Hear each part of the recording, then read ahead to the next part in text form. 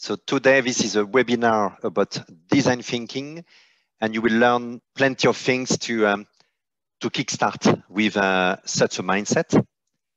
And uh, we have uh, so plenty of people coming from uh, different places. We have, uh, let me summarize, I think that's fun. We have people from uh, America, Colombia, Cameroon, Colombia, Belgium, Lebanon, Iraq, Indonesia, Kenya, Vietnam, Algeria, Ghana, uh, USA Turkey, India, Tunisia, and and uh, yes, that's a, a, lot of people coming from different countries, and English is the proper language for this one. So, just to introduce myself, I've been working, in fact, uh, 20 years in a high-tech high-tech startup in uh, Anglo-Saxon countries, as we say, and uh, so I I grew in um, in a in a, in an ecosystem that was very much focused on uh, users. So uh, I, I started working in a high-tech startup, and we were very very much focused on getting things done for the users, for the customers, and it was the only things that counted. Day Thinking Academy, it's a, a network of um, uh, trainers, of uh, uh, practitioners who intend to do things uh, differently, to think differently, and to be uh, differently. So we can feel that nowadays we this world requires uh, new leaders, uh, new uh, professionals to accelerate this transformation, this human-centered transformation. So what are you going to learn today in this uh, short webinar? You are going to learn uh, design thinking, but to do what? What is the purpose of design thinking? After that, I will focus on uh, its mindset, the values, and the principles behind it.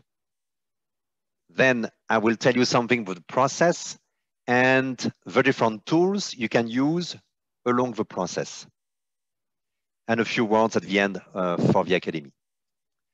So design thinking, in fact, it applies to uh, multiple domains as soon as it meets some uh, uh criteria. So you can use it to design products that are more user-centered. And uh, later on, it came to services. So you can design services that are more user-centered. And more recently, in the last uh, 20 years, you can use it to design organization and to get them more user-centered. So when, when can you decide if yes or no you can use such a mindset, such a method? We have a, a few criteria, six. The most important one is when the challenge requires to deeply understand the user when you have such a challenge, it means that more likely you can use such a mindset, such a method. When you have a high level of uncertainty for the solution and the result, it's more likely something that is also applicable. If you know the solution or if a solution, you can find it analytically, just forget it. I mean, just test your solution and you will see if it works or not. Uh, now you have uh, also uh, when the challenge in, is in a complex environment, uh, it, it, might be a good idea to use this method because this method is very, very good to um, work with um, uh, environments that are, uh, that, that are highly complex. You are going to do it with a team. Your team needs to be enthusiastic enough so if it lasts one, two, three days, it's fine. But if your project lasts a few weeks, a few months, it's a lot of hard work. So you'd rather get a team very enthusiastic about the challenge. So when you look at um, uh, such a mindset, such a method, you can think about the tools, and you're going to see a few of them uh, later today. But those tools, they are used in a methodology in a practice, so practices, design thinking. And the principles behind it are really to bring value to users. We have those tools, those practices to bring value to users. And the team is going to work with a certain culture. And this culture is about trust and empowerment. And, and beyond that, we have a mindset that is the most important, that's this user centricity. And from this user centricity, if you are user centric, all the rest is going to come by itself. Because if you want to be efficiently user centric, you would have to trust the others, your team. You would have to empower teams and people. And your principle that's really about bringing value to users.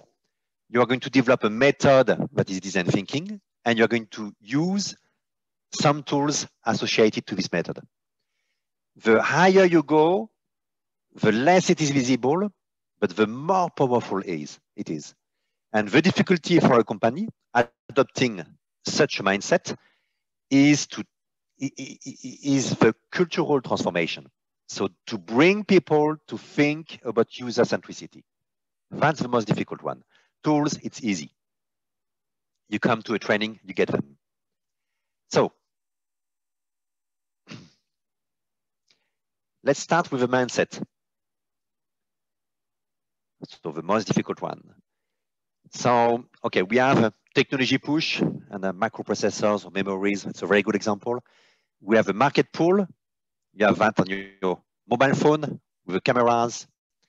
And you have user experience. So to bring the best experience possible to the users. So the trick is, in fact, to meet the user needs. So that's market pull, latent or existing, huh? with an outstanding user experience using relevant technology breaks. But the most important is to meet the user needs. And that's the most important, and that's also the most difficult one.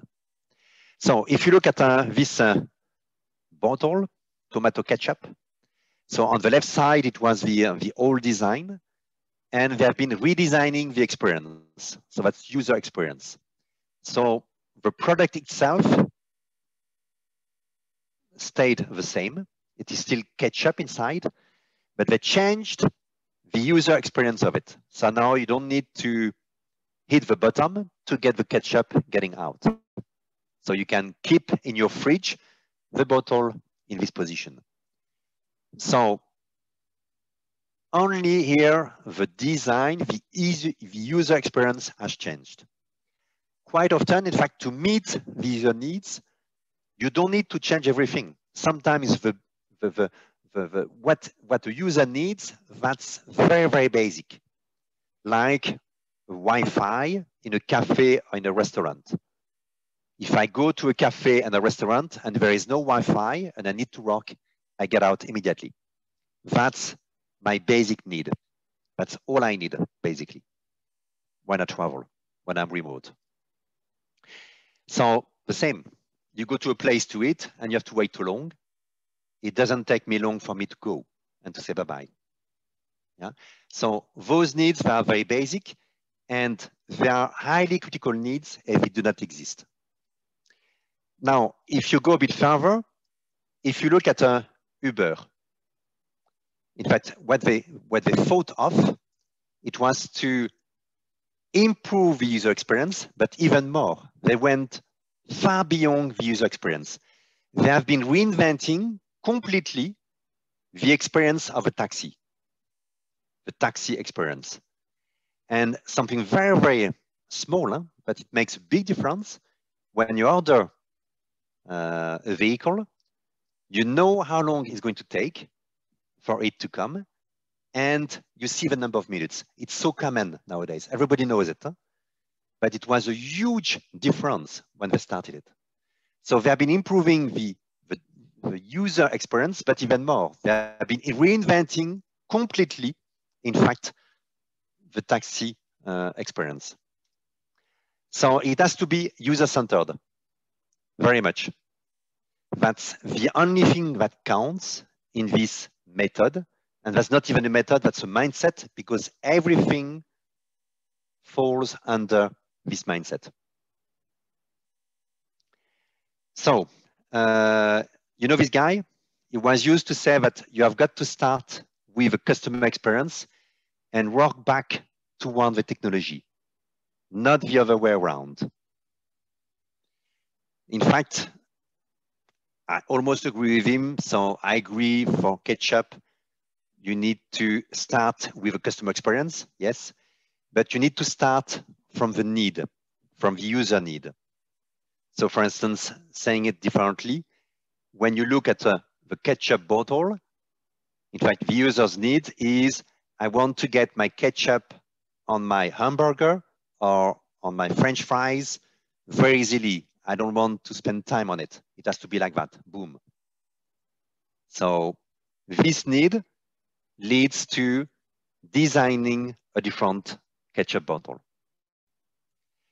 So usually to understand the needs of your users, in fact, you need to spend time. You need to spend money. And it's not easy, it's painful. Because to put yourself in someone else's shoes, it takes effort. So when a company wishes to go uh, into user-centered innovation, in fact, they need to become aware that it costs time and money. There is no way otherwise. So some do. So for instance, they, they squeeze uh, the observation phase. So they don't do any interviews with their users. And when you do so, you have a very, very low return on investment. So you can, but don't expect too much because you will not get that much. So gaining empathy with your customers, that's a core competency of your company. You cannot externalize that. You should not externalize this one. And so do the GAFAM.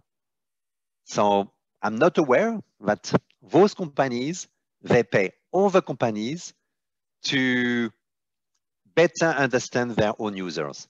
They do everything themselves. So the quantitative part, so the data, but also the qualitative part. So understanding the emotions, the mindset of their users when they use their uh, tools, their products, their services. So don't forget, it's the core competency of your company. So the values of design thinking, I said it already, it is mainly about trust and empowerment and trust and empowerment respect to a team. So the team, the design team is the one that is going to deliver the solution to some needs of users. So this team is self-organized. This team is user-centric. And this team is in continuous learning. It requires from management to trust this team, to empower this team. And that's not something easy. So that's the team that decides, for instance, when they move to the next phase, if the product or the service should be productized and so on and so forth. So there is one thing that is very, very important for a team to function well, the psychological safety. It's much more important than anything else. Because if you feel that if you fail, you're fired, it's not going to fly. In fact, you need to feel secured enough that if you screw up, you can always start again, iterate, and run succeed. So that's very much about creating a team. In fact, choosing the team members. So the team casting is very, very important to have the very good people, the best people you have. You give them a lot of uh, autonomy, you empower them, and you say, I trust you, you can do it. Just go. And tell me once in a while how far you are. That's what it is. It has nothing to do with command and control, it has to do with empowerment. So it's obvious, but it's always good to repeat it. The emotional ambience, the atmosphere in this design team will lead to, to, to, to, to, to with a, a good correlation factor to success or failure. So the better the atmosphere, the more successful the team will be. So the principles behind design thinking, that's mainly or only to bring value to the user. It's the only focus of a design team. Your only purpose is to bring value to the users of your organization. And for that, most of the time, you need a paradigm shift. So in traditional companies, in traditional organizations, the big boss is at the top and everybody works for him. In tech companies, or let's say in user-centric companies, you have to reverse the pyramid. So everybody should be focusing on the customers and the top management is expected to support, in fact, people lower in the hierarchy. So that's about facilitating employees. That's about coaching employees to help them to meet the needs of users, of the customers of this organization. When you do that, when you run a, a design thinking sprint, at the beginning you are lost. So you need to be aware that it's going to be very confusing because you don't know where you go. It can be even um, let's say, um, some people can feel anxious about it because you have a, a white page and you don't know you don't know where you go. You don't know which solution you're going to, to find. So you just need to get used to that at the beginning to be lost and you have to trust, you will need to trust the process. The design thinking process will bring you to a solution, especially with iteration. And the iteration is one of the keys for design thinking. Without an iteration, you cannot succeed. And that's one of the main issues in organizations today to implement design thinking with our mindset, with a PMO, project management, uh, blah, blah, blah. So most of the time, we do not accept iteration. So with such a uh, mindset method, most of the time, in 20%, you can do 20% of what is needed, and sometimes it is enough. The trick is to do things quickly, so you can do multiple iterations very fast. That's the trick. So don't try to, to, to don't try to reach perfection because you will never reach it. So I love this statement and done is better than perfect. I really try to apply it every day in my life. And believe me, it makes a big, big difference. Whatever you do, it's better to get something done than to try to do it perfectly because it takes you far too much time. So apply it in your life and you will see it works very nicely. So uh, I love this guy. He said something that is uh, uh, very useful to me as well.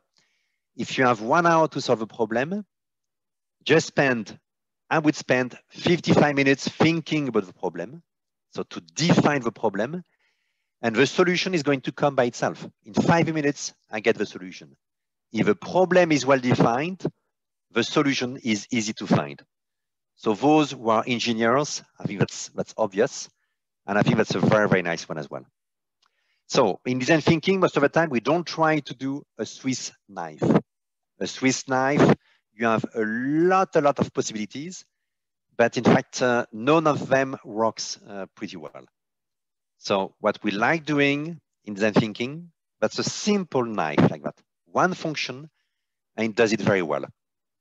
So that's my uh, Opinel, French uh, knife. I have it everywhere and I love it. It's very, very effective. And when I go trekking, that's the only knife I have with me. So about uh, practices. Practices, it is done as a team. Most of the time, you don't do it alone.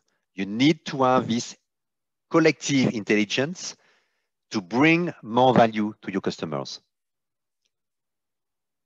you do it so with what we call a design team.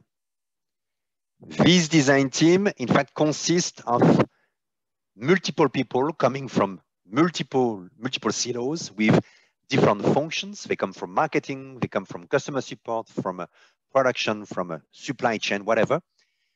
And uh, you you add some uh, specific roles like uh, user researchers, UX designers if needed, brand strategists if needed. And all of them, what they have in common, they are design thinkers. So they know the method, they have a mindset, this user centricity, and they can work together to come up with a value proposition. So they come up with this value proposition in iteration. It takes multiple iterations to find the good one, meeting the needs of the users. So you end up with what we call a minimum viable product. So that's a concept. And if you have a digital uh, solution, in that case, you can take advantage of a UX development team with a UX designer, with a UI designer, in fact, to translate this value proposition into wireframes, mockups that are validated with users. So this minimum viable product at that time is ready to be produced by the Scrum team. So the Scrum team is going to produce it, an app, a website, website, whatever. And over time, in iterations, you can add functionalities that are defined by the design team and by the UX design development team. So you can see that you have also iterations between those three teams. So you, so it was uh, it was uh, when I when I came back to Paris uh, some years back, after 20 years abroad, I I did a, a, a workshop. One of my first workshops. It was 2015 in France. My first uh, design thinking workshop in France, uh, and they they they sent me the pictures of uh, this picture of this room. And believe me, to run a design thinking workshop sprint in this space, it doesn't fly. Yeah? So luckily they could find uh, another room, but you want something like that. So you don't need tables.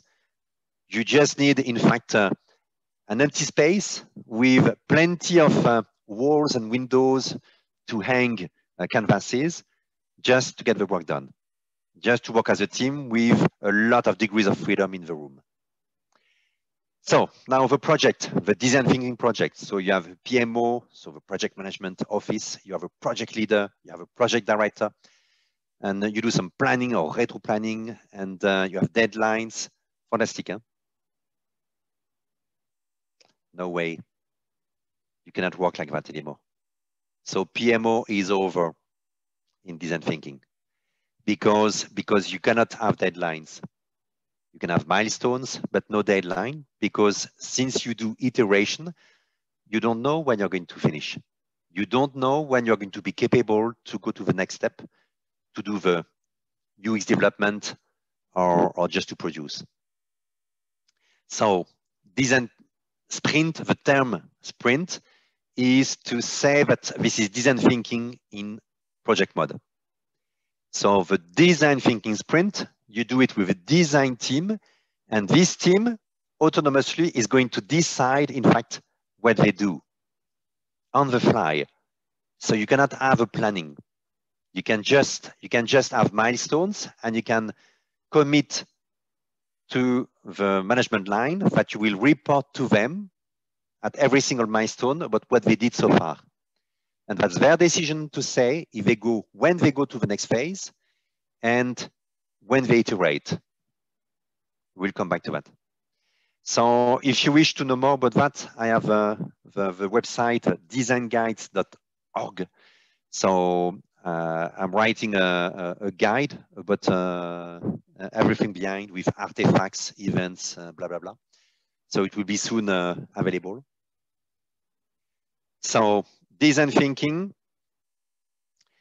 So you can when we come when you come to our trainings, we have a we have a, a small booklet we give.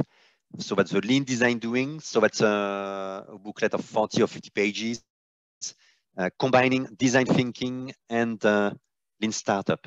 And it says something about business model canvas. in order to, to show something more complete that you can use in many, many different uh, uh, sprints projects for products and services, or even more. When you talk about uh, design thinking, say historically, uh, two guys came up with it. It was uh, Arnold from Stanford. It was in 59. And you have Archer in 65 from uh, London. So you see, it's, it's quite old. It's not from the last uh, two decades. It's much more. So um, later on, Tim Brown and David Kelley, in fact, they, they have been using extensively this human-centric uh, approach for products and later for services and later for organizations. And they did it with their uh, company that is uh, IDEO.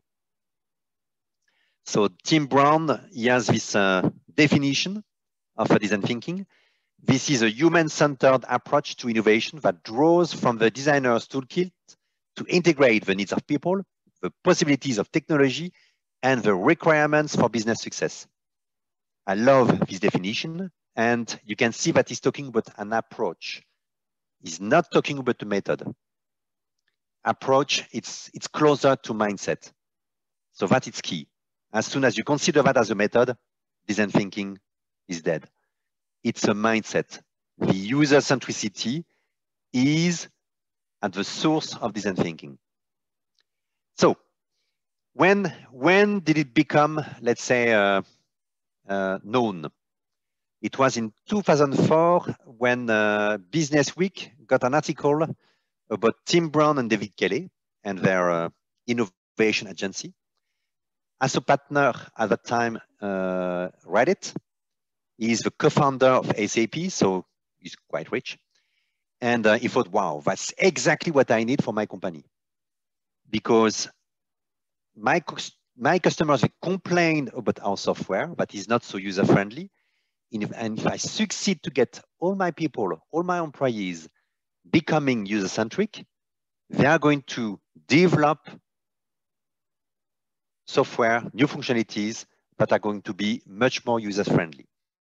So what they did, he got uh, 35 or 36 million dollars from his pocket, and uh, he gave it to Stanford to start the D School of Stanford. So that's how it started. And uh, okay, now more recently, you got uh, plenty of uh, articles or even uh, entire magazines, HBR, started in 2008, if I'm not mistaken. Uh, and uh, as you know, all the uh, managing directors, blah, blah, they do have this magazine on their desk. They do not have always the time to read it, but they can see the table of contents. And design thinking came back many, many times. They thought, oh, oh, why? Wow. So they did focus on it and they understood the power of it. So that's why you have more and more companies using design thinking nowadays, because, because that's a way to differentiate yourself from competition. And for the companies using such a mindset, so for the companies that are design-centric or user-centric, their financial performance is much, much better than the others. And that's very, very logical. Huh? So if your organization is user-centric, is customer-centric, automatically you will do things that are more meaningful for your customers and they will like you more and they will buy preferably your products and it will bring you more turnover and you will be capable to sell it, mm, let's say, less cheap or more expensive than competition and it will increase your profit and it will enable you to use this profit to innovate again and to better meet your uh, uh, the needs of your users and so on and so forth. So you can see that there is a kind of a positive uh, circle loop uh, by becoming more user-centric. So uh, you can recognize here what uh, Tim Brown said. So you have the desirability. After that, you have the feasibility, technology and the viability, business. So that's a very, very nice example. If you want to explain to someone what design thinking is, look at this one. Let's imagine that you uh, bring five people in a room and you say you have to design something for the user that is at the bottom right. So just find your way. So let's imagine that those guys have work uh, independently. They would come up with five different solutions, yeah, and none of them would meet the needs of the user. Now ask them to work together and to go and talk to the users to understand his or her needs.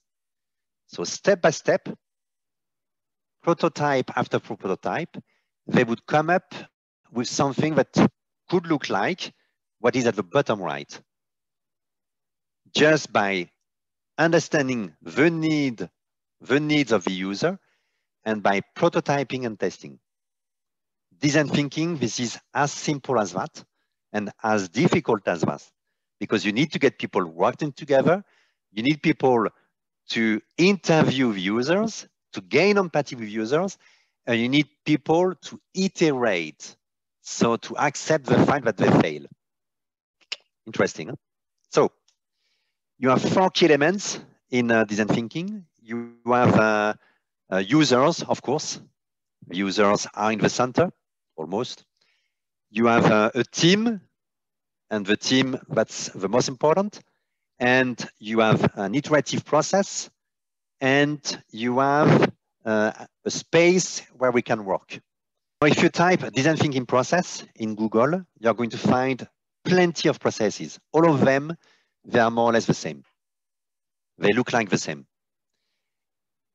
They have in common most of the time those things. So you have a phase about research, user research, and you have a phase about design. So, or solution design or prototypic design. And for both phases, you have, in fact, divergence. So at the beginning, you, you interview a lot of people to gather a lot of materials and you converge towards the need of those people. And again, you diverge to when you brainstorm to find solutions to meet those need, this need, and you converge again. So if you look at uh, Stanford, they have something very, very simple, even uh, simpler than before. And uh, they even have a process with a iteration loop. So basically, uh, we did something similar with the academy. We have uh, something that is, uh, let's say, using a color code to indicate the critical steps, and observation is the most critical one. And we have the size of the balls, of the bubbles, to indicate the divergence and the convergence. And we have the iteration loop. And we have this key articulation uh, that is uh, before uh, producing, before developing the value proposition. So I think you got it. You have really two main steps. The first one that's about defining the problem. Defining the problem is, is highly critical. Remember, this guy, Einstein, he said 50, 55 minutes to define the problem, five minutes to find the solution. So that, that is very, very important. And uh, basically, okay, you that's an infography to show uh, the design thinking process in a different way. So uh, it has all, all the different steps and even more. So I will show you, I will show you uh, rather quickly the different steps with the associated tools. So now we have the first step that is understand. So what you do most of the time is to talk to the experts to understand what they are doing. So uh, to understand the ecosystem you are you, you, you are in. So you have a challenge to solve and talking to the experts more likely will tell you a lot we bring you a lot of information. And you can, for instance, map uh, the stakeholders in order to identify the people you would like to uh, focus on to interview. So let's take the example of a BlaBlaCar avec, with Frédéric Mazzella, who is the founder. And uh, let's say, uh, let's say we he, he, used he used design thinking, but without knowing it at the beginning, at, uh, at least. But let's say that uh, he would run a project. In fact, he would say, okay, in the center we have a traveler, and uh, who is around the traveler? We have the car drivers, we have the buses, we have the planes, we have the trains, and we have a family, friends, application, and uh, whatever, whoever. Yeah. And uh, so what you have to do after that, you have to observe. You have to observe some of the stakeholders. So that's the really the most important step of this process. And uh, you have three ways to do it. You can interview, you can watch, you can immerse yourself. And the, the, the end goal is to develop empathy with your users to better understand their needs. If you do not understand their needs, no need to brainstorm because you will brainstorm on sand and you need to know the needs. You have three different ways to do it.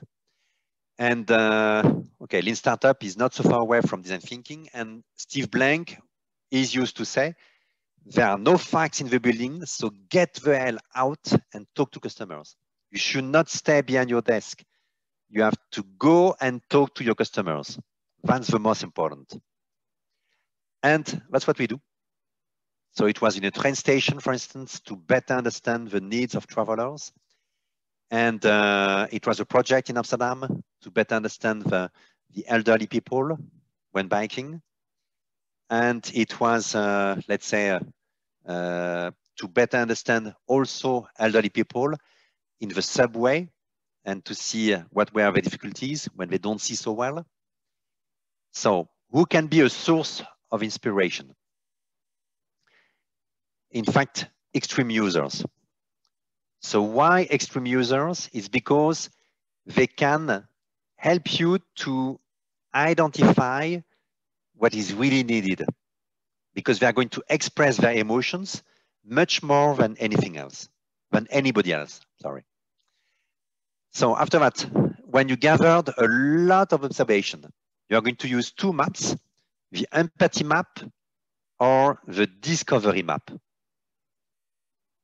Those maps, they are very simple. Huh? That's uh, what they say, the users, what they told you, what they do or what they told you they do, and something that is more in third, what you think they think or what you think they feel. So you can use also the discovery map. And here now we are back to uh, our uh, uh, case with BlaBlaCar. So for instance, uh, this uh, founder, Frederic, he found out that many cars driving in the same direction than his car, there is nobody inside. They have a driver. And it was uh, at the time it was uh, 2005 or six. He wanted to go to um, his parents in uh, a province in France, and uh, he couldn't get any train ticket. So thought, shit, uh, I really would like to go to my parents, and I cannot. So luckily, his sister could drive him. And he was in the car of his sister, and he could see plenty of cars driving in the same direction without anyone. He thought, wow, that's weird, that. And that's how he came up with the idea of BlaBlaCar. What he noticed as well is that, okay, uh, me, I, I love talking to people, but in public transport, it's a bit difficult. Huh? People can are not always willing to listen to you or to talk with you. Yeah? Uh, when you want to travel last minute, it's rather difficult to travel cheap. Yeah? And uh, when to you when you want to go to, from one place to the other, most of the time you have to go via main cities, Paris in France, most of the time, and it takes you more time and costs more, and blah blah blah. So he noticed a lot, a lot of things, including the fact that uh, okay, he was willing to pay a bit more attention to CO2. Yeah. So uh, after that, when you gather a lot of information, you are going to create a persona and a persona that's an archetype, the archetype of your user. That's what it is. So it's not one person in specific. It's more a combination of people. So for instance, that you interviewed. So for instance, in that case, Mathilde, 31 years old, in fact, she wants to go somewhere. And uh, we can think about uh, a second persona who is not a traveler, but the car driver, Pierre. Okay, we could have reversed. Huh? It could be Pierre willing to find a driver and Mathilde being the driver. So you can do the user journey. How does it work for Mathilde? Willing to go somewhere? What are the different steps? That's what we call the user journey. We will not do it right now. Uh, it's not the purpose of this uh, uh, webinar. One, one thing that is very important, that's the concept of job to be done. So it comes from uh, Clayton Christensen, Uh, a Harvard professor. And if you think about it, whatever we use, we use it for a purpose. So we use stuff to do things for us. But just keep that in mind. We do use things for a job to be done. Even, even a Vuitton bag. So after that, you need to define. You need to define, in fact, the critical need. What is the critical need of your persona? The critical need of your persona, that's your point of view. You think your persona needs that. And in order to do it, in fact, you are going to anchor your point of view, your perception of a critical need in the insights you're going to gather. So for instance, here, Mathilde, woman of 31, to travel from Lyon to La Rochelle cheaply. Cheaply is the most important for her, apparently. Yeah, Because it is tough to find a cheap, available end-to-end -end way to travel. So when you know when you know what the need is, you can ideate. And based on this need, to find a cheap way to go from here to there, in fact, you can think about plenty of solutions. So the, the, the space of solution is fully open. So we do, okay, what, uh, what we know very well, huh? uh, a brainstorm. And this brainstorm, you do it in two steps. So the brainstorm itself to generate plenty of ideas. So there is no judgment and that's divergence. And after that, you are going to select ideas and only after that. So there is a strong border between both brainstorm idea selection. And you don't, you don't judge either, you just select, you just choose some solutions, some ideas. And now you are going to converge by choosing. So you have plenty, uh, plenty of tools for that. You have plenty of uh, brainstorm techniques. So here, that's uh, the six ways to help your persona uh, based on uh, your point of view or how might we. So you can have uh, the crazy eight as well. So that's the same than this one, but you think about crazy, about crazy solutions. You can use also idea napkin to come up with the best solutions for your um, for your uh, user. And after that, you can select such uh, uh, among all those ideas, among all those solutions. And you can use a matrix and say what is relevant, more relevant, uh, impact, no impact, or feasibility, whatever. And uh, it does help you to choose the one that seems to be the best one. So after that, you're going to prototype. And uh, prototyping, in fact, it can be anything. It can be anything. So you see here on this uh, slide, it can just be Lego. It is done in 30 seconds and for uh, just a few euro. Or it can be a mock-up done on paper. You don't need to code to start with. Just do it on a piece of paper to see if yes or no it makes sense to everyone. And you can uh, very quickly test it. You can do a service scenario. I will come back to that. Or just on a piece of paper, you can draw something. So iteration, that's key also for prototyping. At the beginning, you do a very, very quick and cheap prototype. And the more you learn, the more you can spend time and money to develop your next prototypes. So uh, I love saying that a prototype, that's something that you're almost ashamed of. And you need to be capable to assess one critical hypothesis of your solution, one or more. You can have multiple prototypes to assess multiple hypotheses at the same time.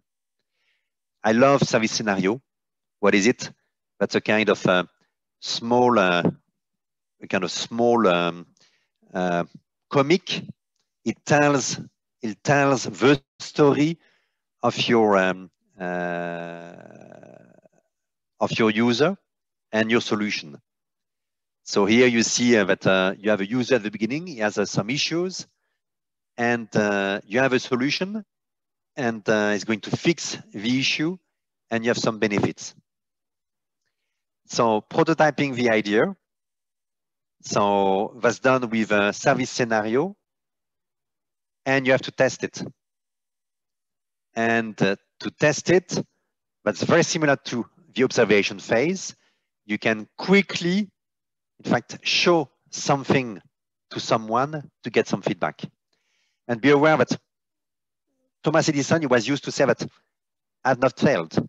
I've just found 10,000 ways, 10, ways that won't work. So don't be afraid to fail because if you fail, you learn something. Ernest Hemingway, he was used to say that the first draft of anything is shit. So just keep that in mind when you do some prototyping. It's normal to fail. That's a way to learn. And the quicker you're going to fail, the closer you are to success. So just to prove, so with uh, our uh, learners or with our projects, our sprints, we bring people outside, we send them away, and they're going to test with users their ideas. It's very, very important. And after that, you have some uh, feedback map to share all the feedback you got within the team. What did work, what to improve, the questions, new ideas, and blah, blah, blah. And you iterate. You iterate till you find the solution. And iteration is difficult in organization. So just remember Dyson, 5,000 prototypes. Uh, Easybreath Decathlon it was seven, eight years of development before finding the proper uh, solution, seven to eight years. And look at BlaBlaCar. So it was in 2003. I made a mistake. 2003, he got the idea of a business. 2006 now.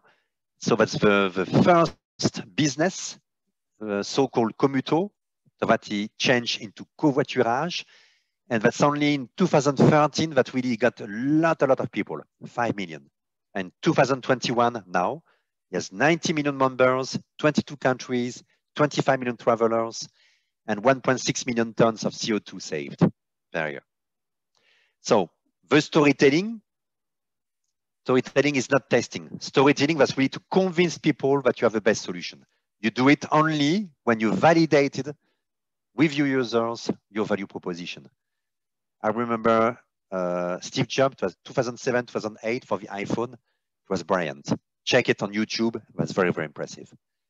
And you can do a three minutes uh, role play just to convince people about your, your, your solution. And you're at the end of the design thinking process. You have a final pitch, and luckily you can implement if you convince people. The weak point is really in the articulation between design and production. Because at that time, you can throw the baby with the, with the water of the bathtub. So watch out.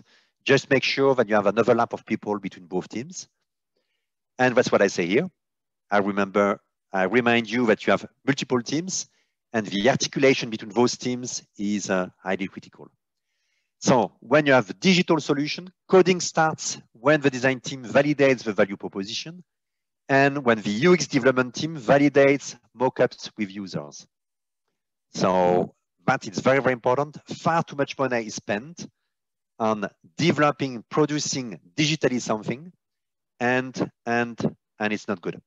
So you have to redo it five months, six months, one year later, because it was not good. So design thinking is about user centricity. I guess you got it.